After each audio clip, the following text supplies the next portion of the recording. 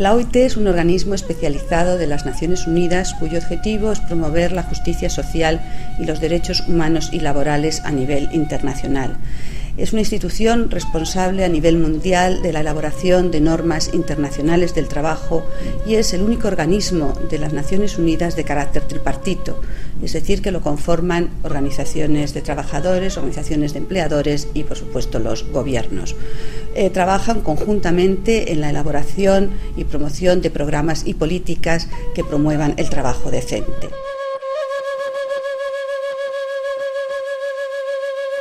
La oficina de la OIT para los países andinos apoya a los cinco países de la región andina, incluido el Estado plurinacional de Bolivia, en temas vinculados con el mundo del trabajo.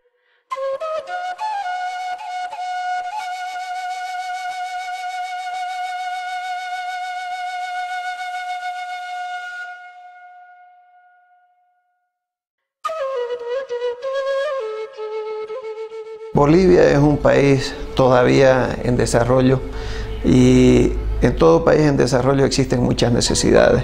Hay pobreza, pobreza extrema, marginalidad y ese entorno es un entorno muy apropiado para que el cooperativismo se desarrolle. Uno de los factores importantes del cooperativismo es que la gente aprende a trabajar de manera conjunta para satisfacer sus necesidades. Sistema cooperativo brinda las grandes posibilidades para resolver los problemas de, empleo y el crecimiento y salir de la pobreza como país desarrollado. Esa es la misión ahora desde el punto de vista del gobierno de fortalecer el sistema cooperativo. Las cooperativas por primera vez han tenido un respaldo constitucional muy fuerte con la constitución actual. Y se están generando nuevas leyes, la ley de minería, la ley de cooperativas, que con el consenso de las mismas cooperativas se van hilvanando de a poco esos proyectos de ley que en realidad son expresión de ellos mismos.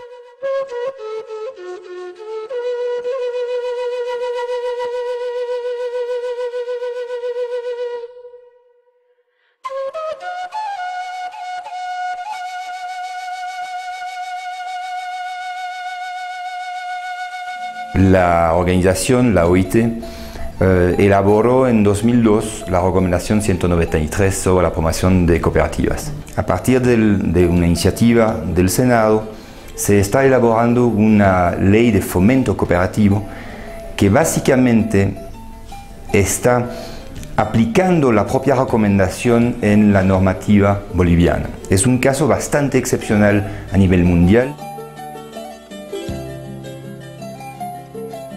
Nosotros hemos apoyado a la Dirección de, General de Cooperativas y después a las federaciones sectoriales y a la Confederación Nacional de Cooperativas de Bolivia, la CONCOBOL, a través de un comité técnico que, que sigue trabajando todavía. Pensamos que ya en esta gestión este proyecto de ley vaya al Poder Ejecutivo y a través del Poder Ejecutivo se, emita, se remita a la Cámara de Origen, que va a ser la Cámara de Senadores, donde va a ser primeramente aprobado para que esto también vaya en beneficio del pueblo boliviano, en beneficio de todos los actores que maneja el sistema minero cooperativizado y, en principal todas las cooperativas de todos los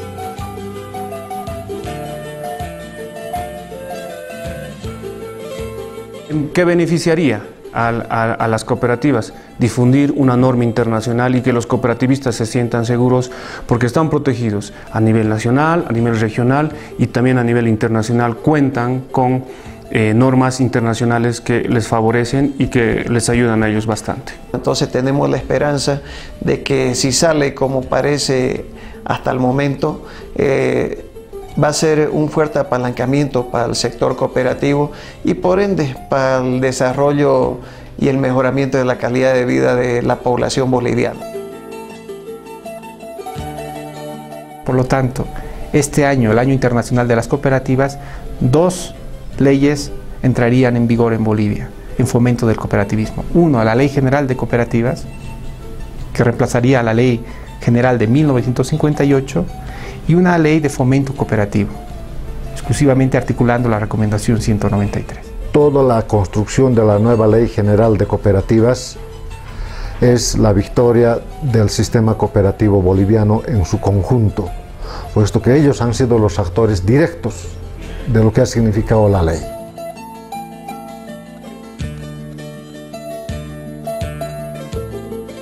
La OIT desde hace, unos, hace un par de años, en un proyecto de, de cooperativas en África, desarrollaron ciertos manuales denominadas MAICO.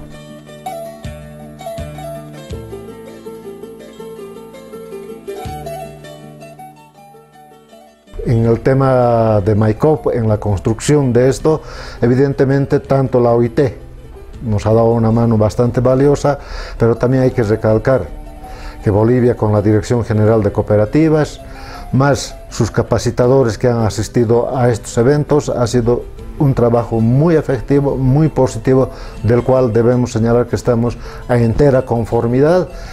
Nuestros parabienes para la OIT y que sigamos trabajando pues en esa altura de los acontecimientos que necesita nuestro país. Es importante mencionar que estas, estos materiales no solo pertenecen a la OIT, sino pertenecen a una red de socios. Una red de socios donde cada uno contribuye a mejorar el conocimiento. En realidad pertenecería al movimiento en sí, cooperativo. Eso es lo, lo más grande que hemos visto en este tiempo para estar más seguros y ampliar el, la, el, la, sostenibilidad de los empleos equitativos. Tienen muchos países más experiencia que nosotros, tienen mejores prácticas. Y quisiéramos fortalecer esta parte e ir mejorando y estructuralmente, creando realmente una verdadera unidad de, educación cooperativa que hace mucha falta.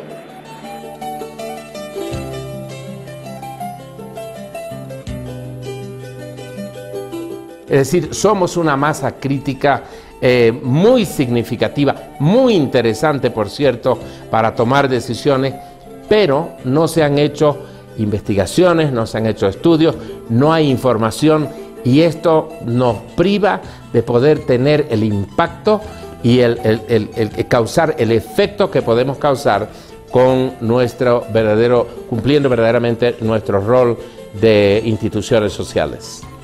Sin embargo, con investigaciones como las que hemos desarrollado hemos permitido crear cierta, cierta base de análisis, de discusión y de debate a través del impacto de las cooperativas en el desarrollo de un país. Si la OIT está promocionando eh, las cooperativas es porque fundamentalmente permite mejorar las condiciones de trabajo, permite organizar el trabajo de tal forma que se puede alcanzar el objetivo y el mandato de la organización que es la promoción del trabajo decente.